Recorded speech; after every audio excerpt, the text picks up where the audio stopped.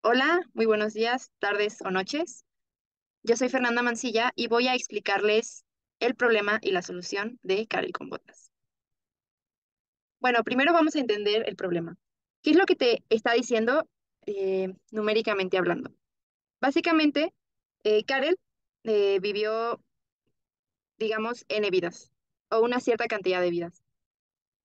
Cada que él moría, volvía a revivir y cuando revivía, era con una energía K. Esta energía K es el máximo de energía que Karel puede tener y por lo tanto va a ser la misma para absolutamente todas sus vidas.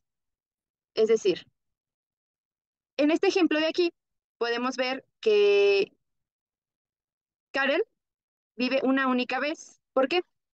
Porque si esto estuviera ordenado, se vería como 5, 4, 3, 2, 1. Es decir, pues nace y tiene una energía de 5, que es la máxima para todas sus vidas. En este caso, solamente vivió una vez. Entonces, luego pasan los años o un día y su energía baja en 1. Luego baja de 4 a 3, 2, 1. Ahora, bien, Karel pudo haber muerto antes de alcanzar la energía cero.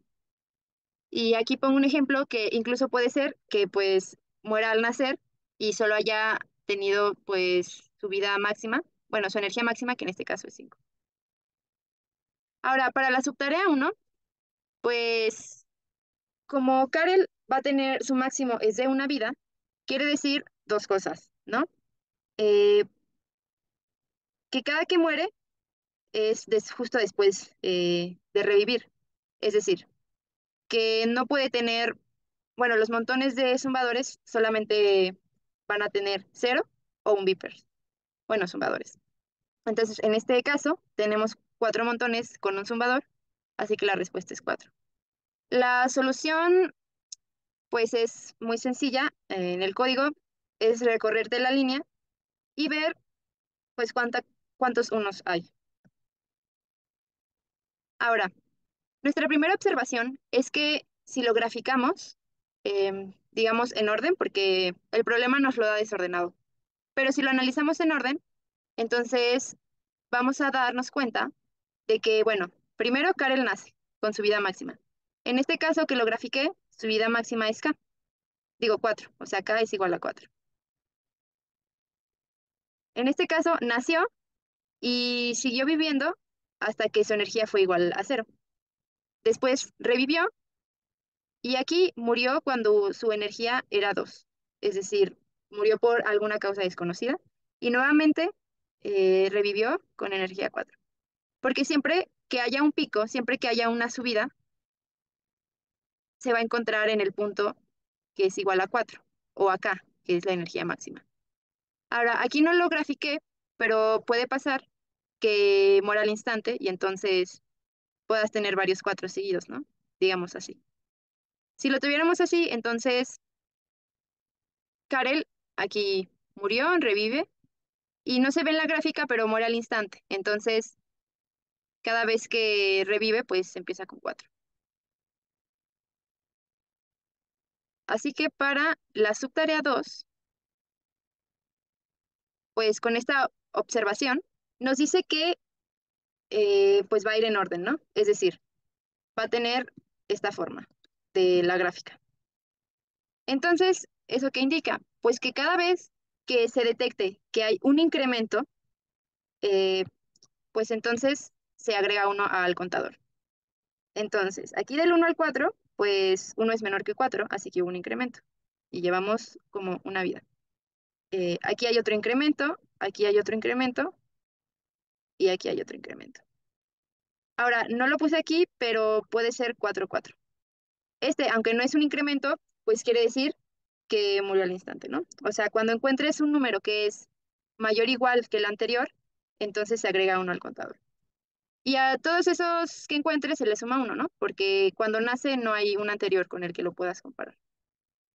En el código, pues sería tal cual mantener este y compararlo con este. Es decir, puede ser un, un compara usando eh, whiles o recursión. Y pues ya con orientación puedes saber si fue mayor o menor, mayor, menor o igual.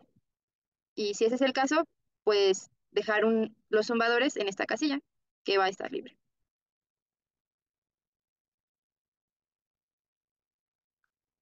Ahora, la otra observación es que no importa en qué momento muera Karel a lo largo de la vida en la que se encuentra. Aquí pues lo tenemos en orden, pero puede no estar en orden. Aunque realmente no nos importa que no esté en orden porque pues solamente nos importan esos momentos en los que está en el pico eh, de su energía. O sea, la cantidad de veces que está en su energía máxima, pues es equivalente a la cantidad de veces que vivió. Así que la idea final es que se determine el valor de K y teniendo el valor de K, contamos cuántas veces ese valor aparece a lo largo de, de la fila de zumbadores. Y pues se lleva un contador. Entonces, la subtarea 3, como ya conocemos el valor de K, no es necesario determinar cuál es este. Solamente nos tendríamos que preocupar eh, por contar eh, la cantidad de montones de zumbadores que tienen 10. Ese es un while, pues que se para en el montón del zumbador y si detecta que hay 10 vipers exactos, eh, pues regresa y pone un zumbador en alguna posición que guarde y ya luego la mueve a la inicial o desde la inicial. Ahora, la subtarea 4 es, la idea es que como el valor nunca va a exceder la cantidad de pared, bueno, la pared que tienes más cercana hacia arriba, entonces se puede modelar de esta forma. Es decir, si hay un zumbador, pues se hace una columna de 1. Si hay dos, se hace una columna de 2 y así. Aquí lo podemos observar. ¿Esto por qué es útil? Bueno, si lo manejamos así, entonces es muy fácil saber cuál es el valor de K. Porque dependiendo en la fila en la que estemos, digamos, queremos saber si K es igual a que 5. En este caso, K no es igual que 5 porque no hay ningún zumbador aquí. Y K, en cambio, sí es igual que 4 porque hay al menos un zumbador. Entonces, yendo de arriba hacia abajo, eh, la primera fila que encontremos que tiene al menos un montón de zumbadores, pues sabemos que la altura es equivalente acá. Teniendo eso, bueno, en realidad podemos decir, bueno, ya encontramos esto y cuántos vipers hay en esa fila. En este caso hay tres vipers, así que pues ya conocemos la respuesta. La subtarea 5, no tenemos un espacio en el que podamos eh, guardar los montones de zumbadores o podamos estarlos moviendo, ya que estamos encerrados, eh, rodeados de paredes. Entonces, ¿cuál es la idea? Pues es muy simple. Realmente, si vamos quitando, o sea, hacemos un recorrido en la fila y ese recorrido va a quitar un zumbador en cada montón de zumbadores. Entonces, si el valor de K, en este caso, es 3, vamos a hacer dos iteraciones de esto que les acabo de decir. Entonces, la primera iteración pasa de esto a esto. Y la segunda pasa de esto a esto. Ahora, no podemos hacer exactamente K iteraciones porque si no, esto se convertiría en cero y pues ya no tendríamos ningún tipo de información. Así que lo que se hace es hacer estas K menos una iteraciones. ¿Y cómo saber cuándo detener eh, esta operación? Bueno, en el momento en el que solamente haya o unos o ceros, pues quiere decir que si quitas esa, esa fila, pues ya no va a haber ningún valor. Así que cuando se detecte que solamente hay zumbadores eh, con unos, pues ya se cambia la tarea ahora a contabilizar esos unos. En este caso, pues son cuatro. Y sí, efectivamente, K es 3 y tiene cuatro ocurrencias.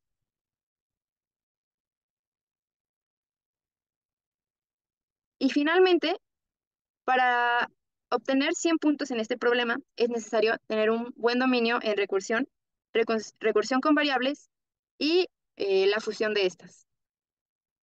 La idea es que en la primera pasada determinemos el valor de k y guardarlo. Aquí, pues, compara, llevamos nuestra variable x, en este caso k, que es la que hemos estado usando, Y cada vez que encontremos un valor que es mayor al que tenemos, en este caso, dice, si x es menor al montón de sumador en el que estamos, pues entonces nos vamos a posicionar al norte. Si no, si, si son iguales, nos vamos a posicionar al sur. Esto no sirve para la primera pasada, pero como vamos a utilizar la, esta función para la segunda, pues lo, lo tengo aquí. Entonces, cuando llegue al final de, de la fila, ya va a tener guardado la variable k. Entonces, en la segunda pasada, ya con nuestro valor de k, eh, pues los montones de sumadores que tenemos, igualmente usamos esta función que es compara, y si está viendo hacia el sur, quiere decir que son iguales.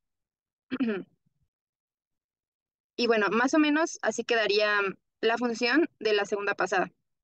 Lo compara, si los valores son iguales, entonces se mueve y vuelve a llamar a la función. Aquí es donde usamos la fusión de la recursión y la recursión con variables para, digamos, guardar de manera no tan directa dos valores. Entonces, la variable va a tener el valor de k y aquí, que es en el regreso de la recursión, va a tener eh, en su pila n llamadas eh, con esta, que es el putbeeper, donde n pues es la cantidad de veces que encontró un montón de sumadores igual a k, o a x en este caso. Ahora, si no lo encuentra, también llama de nuevo a la función, pero ya no deja el zumbador. Y bueno, esa fue la solución y la explicación del problema de Karel con botas. Muchas gracias.